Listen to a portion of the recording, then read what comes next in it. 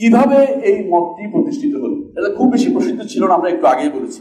কীভাবে প্রতিষ্ঠিত হলো? এটাকে আমরা কয়েক ভাগে ভাগ করতে পারি।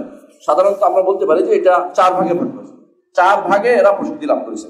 প্রথম যখন ছিল উৎপত্তি তিনশো তেত্রিশ থেকে পাঁচশো হিজড়ি পর্যন্ত, এই সময়ের মধ্যে এটা তাদের ইমামের সাথে ছিল আবু হানিফার অনুসারে হওয়ার কারণে হানাবিদের মধ্যে এটা প্রচুর প্রসার প্রসার লাভ করেছে।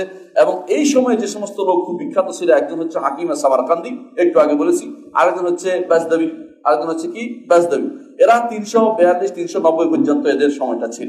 এই সময় তারা যা করেছে সেটা হচ্ছে যে মাঝহাবের ভিতরে তার কথাগুলি ধীরে ধীরে ঢুকাতে আরম্ভ করেছে। বক্তব্যগুলি মাঝহাবের বইয়ের ভিতরে ঢুকাতে আরম্ভ করেছে। এর আগের বইতে আপনি তাদের কোনো বক্তব্য খুঁজেও পাবেন না। কারণ এর আগের বইতে ইমামদের বইতে এই বক্তব্যগুলি তখন ঢুকে থাকে নাই। এই জন্য আপনি কোনোদিন পাবেন না ইমাম মোহাম্মদের বইতে, আবু ইউসুফের বইতে, অথবা তার ছাত্রদের বইতে, অথবা ধরেন এই কি বলে মকসুদ সারাক্সির বইতে, কিন্তু পরবর্তীদের বইতের মধ্যে ওনাদের বক্তব্য ধীরে ধীরে ঢুকতে আরম্ভ করেছে। এরপরে এটা আরও প্রচার প্রসার লাভ করল। কীভাবে? দেখবেন আবুল ইউসুফ আল বাজদাবি চারশো একুশ থেকে চারশো তিরানব্বই এটাকে আরও বেশি লেখালেখি আরম্ভ করল, এটাকে পড়াতে আরম্ভ করল।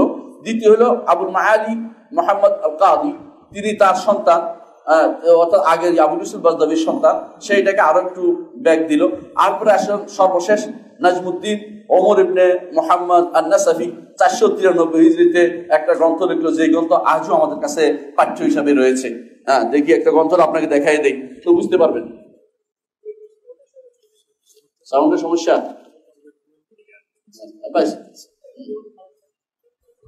সাউন্ড সমস্যা?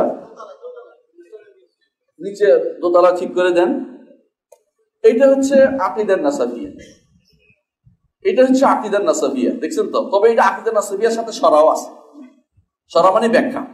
ব্যাখ্যাটা করে সাহাদুদ্দিনের তাফতাজানি করেছে এর উপর রদ করে আমার দোস্ত, একসাথে আমরা পিএইচডি করেছি। পাঁচ খন্ডের বই লিখেছে, ছোট্ট বইটা রদ করে ছোট্ট বইটাকে রদ করে। এটাকে রদ করে পাঁচ খন্ডের বই লিখেছে। তাও উনি অর্ধেক যেতে পারেন নাই। এত ভুলে পড়া। এটাকে শিখাতে হচ্ছে। আমি কয়েকটা জিনিস আপনাকে এখান থেকে শিখে বলব। কি আপনি এখন বুঝতে পারবেন যে কতটুকু শুদ্ধ সে লিখেছে। কতটুকু শুদ্ধ তারা লিখেছে, এটা তখন বুঝতে পারবেন। দেখেন, বলতেছে, আপনি এটা প্রথম থেকে শুরু করেন।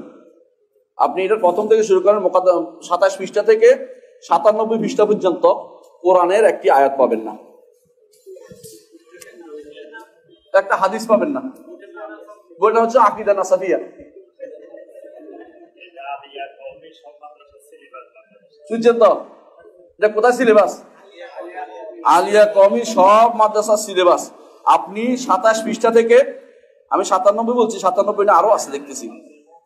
সাতানব্বই না, আর সাতাশ পৃষ্ঠা থেকে নিয়ে একশো আটত্রিশ পৃষ্ঠা পর্যন্ত।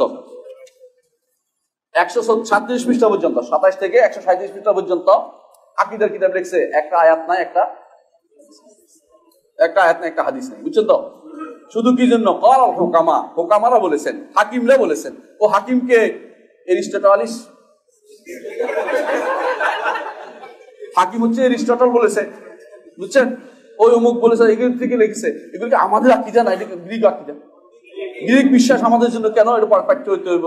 কেন প্রতিদিন আমার ছাত্রাই পড়বে? কেন পরীক্ষায় এলমুল কালাম একটা বিষয় থাকবে? এই এলমুল কালাম তো এটাই পড়াচ্ছে। আর এগুলি যদি না পড়ায়, আপনাকে বলা হবে খারাপ। আপনি সবচেয়ে খারাপ হয়ে গেলেন। আপনাকে ইহুদি বলা হবে, ইহুদি বলা হবে, এটা বলা হবে, এটা হবে। দুনিয়ার যত নিকৃষ্টতম গালি গালাজ আপনার ভোগ করা হবে, ওই বই পড়তে যেগুলির মধ্যে আপনার কলাল হোকামা, কলাল অমুক তমুক লেগে দিছে। আপনি পুরোটা যদি আমি কয়েকটা শব্দ উচ্চারণ করে, আপনি বুঝতে পারি কি বলছে। মানে সময় আমাদের কুলাবে না, এই জন্য আমি তাড়াতাড়ি করতেছি। বলতেছি কি দাঁড়েন বলতেছে প্রথম কি ওয়াজিব? সেটা কি? চিন্তা করতে হবে, সন্দেহ করতে হবে। এরকম আরও আছে, আমি শুধু অল্প অল্প বলতেছি সবটা বলার সময় নাই। এটার উপর রদ করছে তিনি ভালো লেগেছেন আমি শুধু রাখলাম, পরবর্তী দরকার হলে আবার টেনে আনব ইনশাল্লাহ তাহলে আপনি বুঝতে পারছেন যে তার কাছে আসা, এখন আগে একটা বড় করে জমা হয়েছে। উনি কি করছে? আগে যারা আছে খুব সুন্দর করতে পারে নাই। উনি সুন্দর করে এটাকে একটা বই আকারে সাজাইছে। নাম দিছে আল আকাইদুল নাসাফিয়া। সুবহান আল্লাহ এর আগে আকিদার শত কিতাব লেখা হয়ে গেছে। কি কি নামে লেখা হয়েছে আকিদার? কিতাব আপনারা জানেন? কি নামে? তাওহিদ নামে? সুন্না নামে? ইমান নামে মুহাদ্দিসিনা প্রচুর লিখেছে এগুলি নামে। এমনকি ইমাম আবু হানিফা ফাকুল আকবর নামে লিখেছে উদ্দিন নামে লিখেছে, আকিদা নামেও লিখেছে, কিন্তু ওনার পছন্দ হয় না। উনি যেটা লিখেছে, এটা হচ্ছে একান্তভাবে মাতুরুদ্দি রাখতে মাতুরিদের আকিদা। এটাকে পাঠ্য করা হচ্ছে কেন? এটা কেন পাঠ্য করতে হবে আমাদেরকে? এটা কেন পড়াতে হবে? এখানে যেখানে আল্লাহর কোরআন এবং রসুল হাদিস দিয়ে কোনো কিছু দলিল দেওয়া হয়নি, সেটা কেন আমাদেরকে পাঠ্য করতে হবে? এটা আমাদের জিজ্ঞাসার বিষয় রয়েছে। তিন নম্বর এই দুই অবস্থান শেষ হয়ে গেছে, দুইটা পর্যায়ে। তিন নম্বর পর্যায়ে আকিদে ঢুকছে, সেখানে কি? সেখানে আসে আবুল মহিন নাসাফি তিনি আসা বিভিন্ন রকমের ইয়া লিখলেন অসুল লিখলেন অসুলের ভিতরে ওনার বক্তব্য ঢুকিয়ে দিলেন। তারপরে নাজমুদ্দিন ওমর আর নাসাফি নাসাফিরা তখন এর ভিতরে ঢুকে গেলেন, নাসাফিরা লিখতে আরম্ভ করলেন।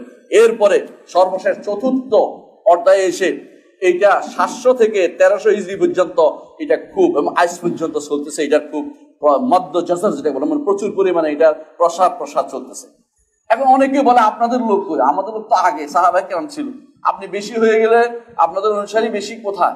বেশি হলো মাদ্রাসাতে। সাধারণ মানুষ কখনো তাদের অনুসারী না। ওরা দাবি করে, তারা বেশি অনুসারী, সত্য নয়। কারণ সাধারণ মানুষ কখনো এই সমস্ত মান্তিক বা জীবনও বুঝে না। সাধারণ মানুষ এখন বুড়ো পর্যন্ত বলে, আল্লাহ কোক আল্লাহ আরশের উপরে বলে। এতে কোনো সন্দেহ নাই। কিন্তু ওরা প্যাস বাইর করে, আরশের উপর হলে তো জায়গা হয়ে যায়। জায়গা হয়ে তো আল্লাহ জায়গা থেকে মুক্ত, হরকত থেকে মুক্ত, আল্লাহ তো ইতিমধ্যে এই মুক্ত মুক্ত মুক্ত আল্লাহ কোথাও থাকতে পারবে না এরপরে। লা বলা খারে যাও বাইরে না, ভিতরে না, আল্লাহ কোথাও যাবে আল্লাহ কোথাও বলা যাবে না। মানে আল্লাহ কোথাও বলা যাবে না। বলছে আমি কি অন্যায় করছি? এটাও বলা যাবে না। মানে কোনোটাই বলা যাবে না। প্রশ্নই বলা যাবে না। অবস্থা এরকম, যে কিছুই বলা যাবে না। তো কি? আল্লাহ সম্পর্কে কথাই বলা যাবে না। আর তো আল্লাহ সময় কথা না বললে আমি কার কার উপর ইমান আনব? কার উপর ইমান আনব? এটাও বলা যাবে না। মানে কিছুই বলা যাবে না। হয়ে গেছে এরকম একটা অবস্থা।